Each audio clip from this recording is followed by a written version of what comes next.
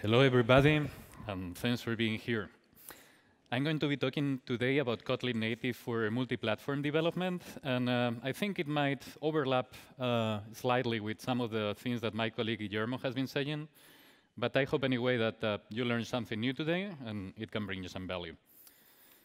Just very shortly about me, I'm a freelance developer from Spain. You can guess that based on my accent. I'm a um, Google developer expert for Kotlin and Android, I handle the Kotlin weekly publication, so if you want some stickers later, please, I think I still have six. Uh, this is my Twitter account. I sometimes talk about code and things that interest me uh, regarding software engineering. And I'm mainly involved with Android and uh, Kotlin development, uh, backend mostly with Kotlin, and iOS uh, mostly with Swift. I wish I could put more Kotlin, and that's something I'm actively working with. Now, motivation about working with uh, multi-platform development, and particularly Kotlin native. Well, some people think that uh, when we are moving into a multi-platform framework, we are going to decrease the cost. Whereas this is right, I um, try to argue that uh, this is more about the quality than the cost, and I think we should have this mentality uh, rather than making things cheaper. Um, this also provides some interesting approaches uh, when we are having the same code base and this is uh, distributed through a team in a company, we can start doing things such as sharing code within the company. We can have our own libraries that many teams might be working. Something interesting is that we can start working with feature teams. That is, people will not be working anymore in Android or in iOS. They will be working with the login feature or the payment feature, which um, I think it um, can raise new challenges and um, things like you specialize in a topic and the platform is not that um, particular, uh, particularly important anymore. And of course, having one tech stack instead of uh, three, four, or five. So how this multi-platform development has worked out? We had before things uh, that were platform proprietary, such as Java back in the past, and Xcode. If you've been here for some time, you've seen probably things like PhoneGap, those hybrid HTML and JavaScript frameworks, lately these uh, cross-platform uh, native frameworks such as Xamarin or React. I actually was um, talking uh, recently with some colleagues, and one of the ideas for, I thought always that people would use those frameworks to save on cost, but interestingly for mobile development, some people jump into using these JavaScript frameworks because it's very hard to find uh, native iOS developers or native uh, Android developers. And JavaScript is something that has been there for a while, seems easier to recruit. So that's might be something that could be happening. And now particularly, why Kotlin? Well, Kotlin is a modern language. Java first version was released in 1995, which is in the dinosaur time uh, in our world. There seem to be another issues um, so if, uh, well, you know, Oracle is uh, owns Java. Uh, Oracle is this company that has more lawyers than developers. This is actually true. They deal more with copyright than with actually developing code. And uh, well, it seems that some companies were a little bit uh, stuck into Java, and they could not uh, jump into the new versions on Java. And um, well, why not a different thing. Why, why not something like Kotlin? You're here at a conference called Kotliner, so you already know a lot of things about uh, Kotlin. Uh, it can interoperate with different languages, so it can talk with, uh, with Java seamlessly. It has a big community support. Many libraries have been developed by the community, are uh, widely used in, in many apps. It has a top-notch tooling. JetBrains is, uh, known for having developed Kotlin, but they develop um, uh, uh, software to program with almost any language you can use. You can use PHP Storm, PyCharm, uh, you have IntelliJ, and th those are really top quality uh, platforms.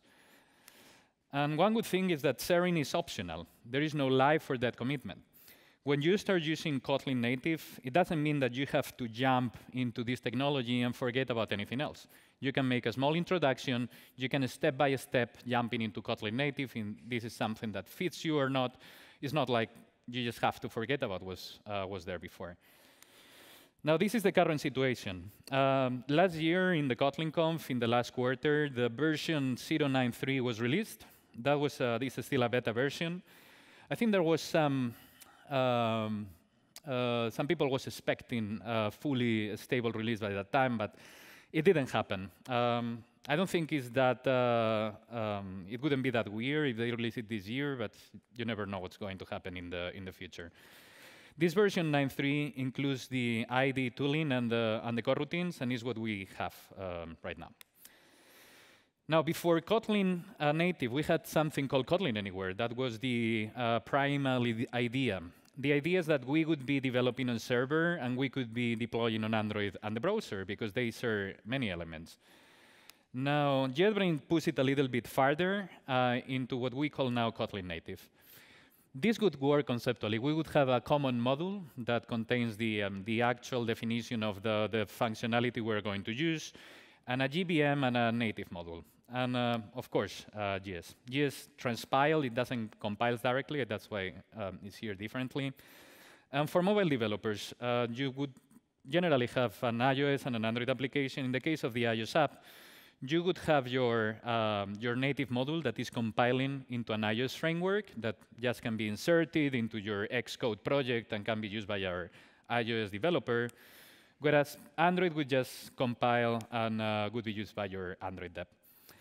So what should we do with uh, Kotlin native? What should we share? Well, the idea is to share architecture and not UI. Why? Because Google doesn't care about the UI of iOS, and uh, Apple doesn't care about the UI of Google. They are fundamentally different. They have different patterns. They have uh, uh different interaction methods. You can easily uh, compile, uh, program it once and deploy it to several platforms. The shared UI is a mess. But we got the, under this, under the, the, the UI of the, an application, everything is the same. What do we do? We talk with a backend, we talk with a web service. We get some JSON information, we serialize this, uh, this data. We deal with this data and store it in a database. That's something that iOS and Android are essentially doing uh, and operating the same way. Now, Kotlin native, it uses uh, LLVM 5.0. Uh, this is a collection of modular and reusable compiler technologies. Um, it provides uh, runtime warranties, things such as exceptions and memory management. It can interoperate with C and Objective-C and, and obviously Swift, not with C++, unsurprisingly. And it contains platform libraries for things like uh, POSIX, uh, Apple frameworks, Win32, DOM, etc. It's surprisingly intuitive. Uh, we would uh, have our Kitty Kotlin source file where we are developing in Kotlin. This will go through the Kotlin compiler towards an intermediate representation that goes to the LLVM compiler and compiles into the platform binary.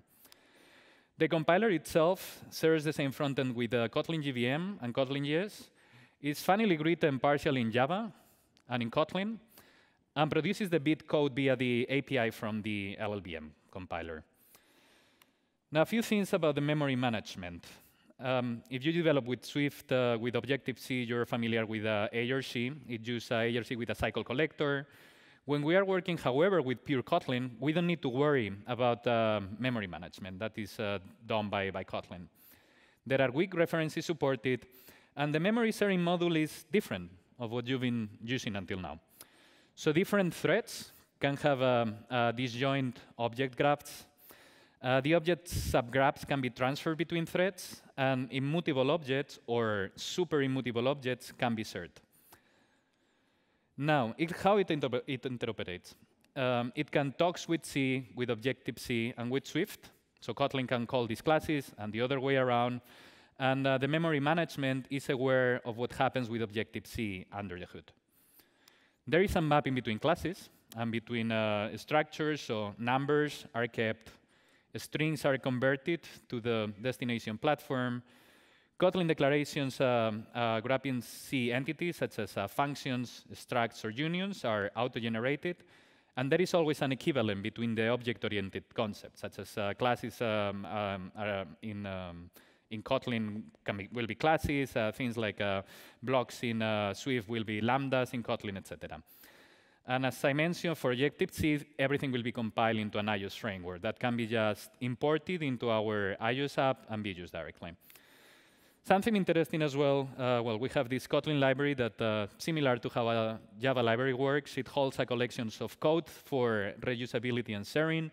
It has in some format, klib, uh, which holds all the metadata of the, uh, the code that is inside and the bitcode itself.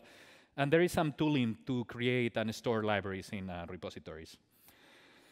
So no technology means anything without libraries. And there are a few libraries that have been already developed. Those libraries are developed and maintained by JetBrains. Ktor is a client-server uh, networking, um, Atomic Helper, um, we have Kotlin X IO for uh, IO operations and uh, the famous coroutines. I don't want to go in detail too much with them. I particularly like Ktor uh, a lot. Um, if you're developing uh, anything with the backend, I think it's, it's pretty simple how it works, and it does the, the job very good.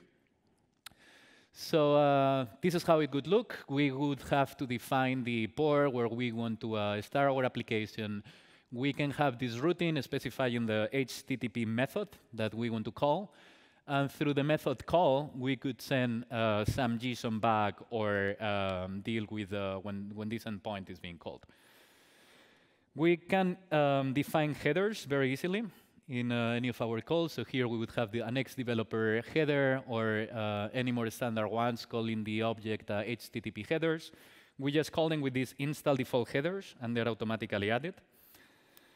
This would be a very simple endpoint. We would uh, call through a get method the uh, endpoint programmer and see how easy actually is to get uh, directly the JSON. We would have just an object called author that has a name and an address or a surname or whatever we want. And with uh, calling to the method respond and passing this object, we'll automatically serialize in a JSON object, which is, is easy to deploy.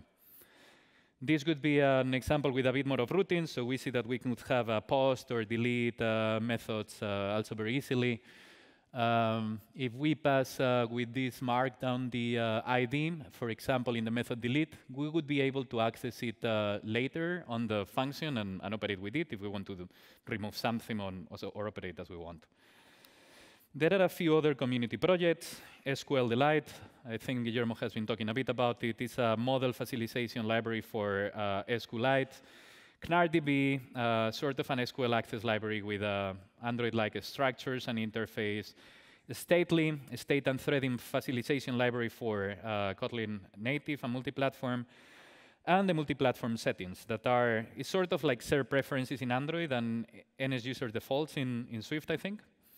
And um, some of these uh, libraries have, you might know them from, um, um, well, they have offices in Canada and in New York, and another one's from TouchLab. TouchLab is an agency in New York that uh, has, is investing quite a lot in Kotlin Native right now. In order to make it uh, Kotlin Native work through our common and uh, native models, we would play with the expect and actual keywords. Expects defines our um, how the, the how this class is expected to be implemented on the common model. This would be an example. Uh, see the keyword expect before any class. And uh, here it would be the actual model, the one that goes, um, the actual uh, keyword, the ones that goes into the uh, native or uh, JVM model. Um, all actual declarations that match any part in an expected declaration need to have the actual keyword in front of them. And expected declarations never contain any implementation code. So they would be just like um, defining the, what you are expecting from them. Um, it's easier to see with an uh, example of something very easy, such as uh, how do we um, log in different platforms. That's something that we always need to do. We use different logs in uh, Android, Swift, um, in uh, JavaScript, so we could have something like this. Uh, we would expect a function called writeLog message that uh, receives a message and uh, the required low level that uh, is defined as an enum at the top. And the implementation would look like this. This would be the implementation for the JVM machine, where we get uh, whatever low level and uh, print the, the, message later. And in JavaScript, it would work slightly different. We would could have, uh, depending on the sort of log level we have, we might want to use the console object to print it one way or the other one. Now, some considerations in states when we're talking about Kotlin native. An object only belongs to one thread. It cannot belong to several of them. Now, if we want to share them, we need to have a frozen object. A frozen object can be shared by threads. This is a new concept from JetBrains. Frozen essentially means super immutable. The object is immutable and all the references. It's something different that you probably haven't dealt with in any previous uh, language or technology you've been working with. So to came with the thought of, uh, well, what, how do I know what is frozen? Well, essentially, everything that you have written until now is not frozen. So it's something that you could start doing now if you're dealing with Kotlin native. Some other things, there are no threading primitives uh, such as uh, synchronize or volatile. Instead of using them, you should use something like uh, atomic FU. Um, there is runtime safety, so Kotlin native can um, verify safe uh, mutability. And um, I would like to give a few considerations. Uh, people think is, well, Kotlin native ready to be used in production or not? Uh, what should I do? Well, this is something that got sorted out a month ago. Check this login view model. You have something like a username, a password, uh, etc. The password has some generics, right? A subject with a string. Well, um, when you were using before this in Swift, um, the generic could not be accessed from Swift. And that's something that could prevent you very strongly from adopting uh, Kotlin native. It has been merged um, 24 days ago, so now it's, uh, it will be supported from now on in the, in the next versions, or you can always download a Kotlin uh, a native, build it by yourself with the latest state. Another thing is that uh, coroutines are not yet multi-threaded. There is a proposal uh, to be merged at some point, but it's not uh, quite there yet, and that's something that might be new uh, or at least uncommon for many people that has been developing using the old paradigm.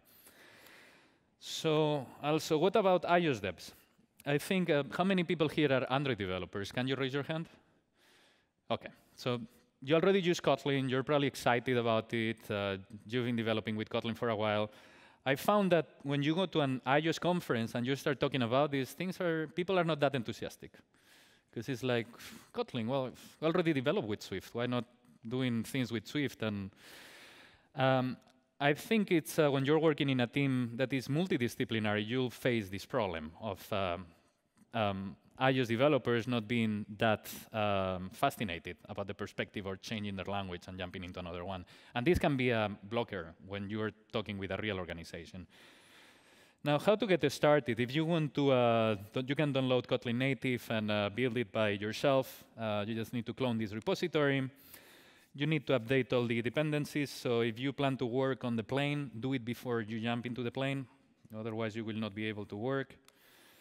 You need to execute the bundle program. Also, don't do it when you are um, before jumping into the plane.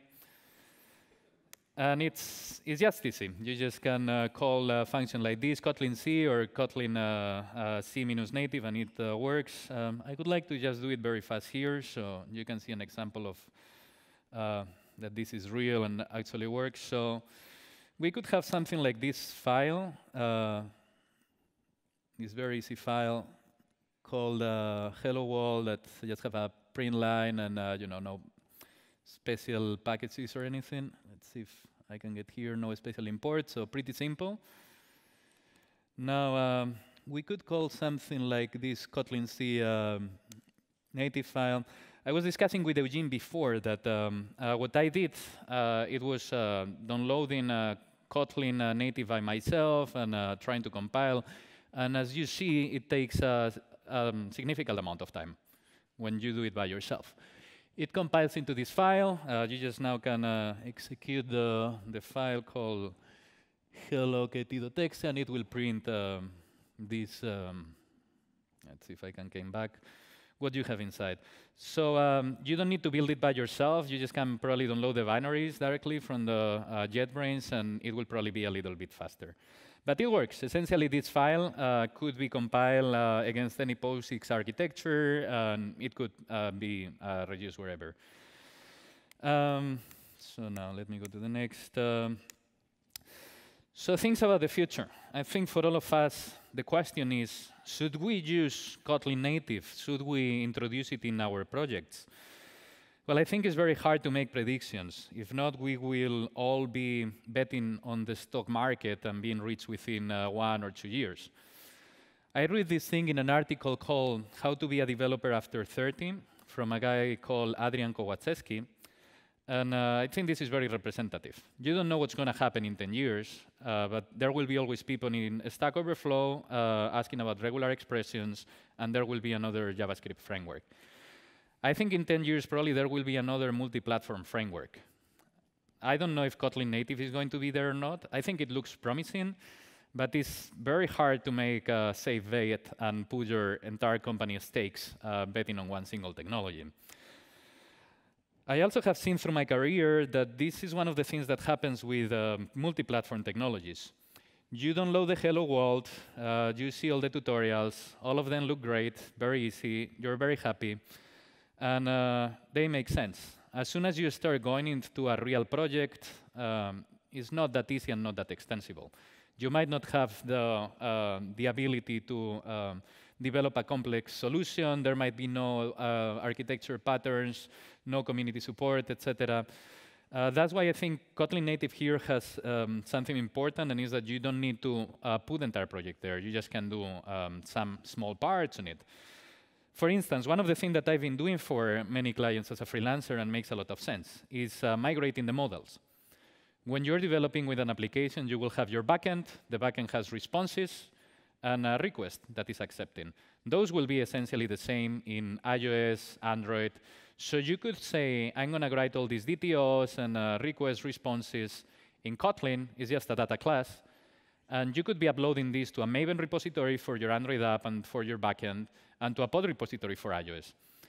Every time you, you compile them once, essentially, you always only have to uh, maintain a code base, and this will be uh, automatically deployed to other uh, to all the different platforms. So you don't have um, to be like doing it individually for iOS and uh, Android, which I think is a source of uh, conflict and problems. Uh, now, more uh, things. Flutter, I think, is another of the promises in the multi-platform world. Well, Flutter has uh, one good thing that are the custom UI widgets. Um, I think they, they perform very well. They're easy to deploy. Uh, Kotlin, I think, is, is more performant, except the compilation time, and the, uh, it has a better ecosystem. So if you uh, go to Flutter, you're using this language called Dart. Um, I don't think it's as evolved as Kotlin is. There is not as many, as much community support as you will find with Kotlin. And um, yeah, it's uh, probably you can do a combination of both. If you Google something like Flutter and Kotlin, there is actually a session from a, uh, um, an article written by a guy that is working at OLX in Germany. And uh, this guy did uh, an experiment where he was combining Flutter and Kotlin. Exactly for this thing. He was using uh, Flutter for the UI and uh, Kotlin for everything underneath. He didn't post it any code, which uh, was a little bit unfortunate, but uh, he claimed that uh, this, this works, and he was very happy with it. So it might be something worth exploring. So some recommendations from my side. Um, I think it's something that you could use with Caution, and um, uh, not going 100% into, uh, into it. You should have some, probably applying it on shared components. I think that's a good idea maybe having some small thing that can be used in, uh, in both applications and uh, doesn't need to uh, involve the 100% of the project. Keep versioning in mind. It doesn't need to go, uh, uh, uh, so if it's not something that is actually final release and stable, I would have my doubts to convince a company to adopt it. Um, but yeah, it's, it's probably something that would happen at some point. Some further resources. Um, I think uh, if you are not in the Kotlin Slack, I think it's, uh, it's a, great point, a great point to start. They have a Kotlin native channel. TouchLab uh, is a company that is investing a lot. They have uh, in their Git repository a lot of um, libraries, and uh, they're exploring uh, where are the limits and what, what can you do. They were actually the people merging the support for, for generics, so it would be good to follow them. Of course, the Kotlin Weekly. Um, uh, we get more and more resources about uh, uh, Kotlin native, and I, I, believe it's going to get just bigger from here. And the Kotlin native documentation. You can have an extensive, an intense um, um, um, state of the art and documentation and descriptions of all the methods here. So I think it would be a, a, a very good point to uh, follow up with it. Well, that's been it. And uh, if you have any question, I would be happy to answer it.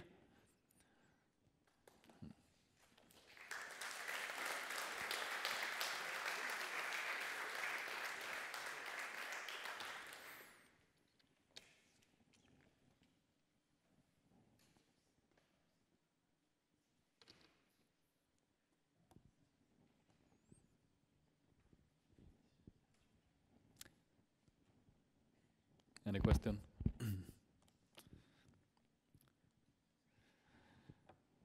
Well, otherwise, feel free to grab me anytime. And uh, of course, if you want these stickers, I'll still have a, a few more today.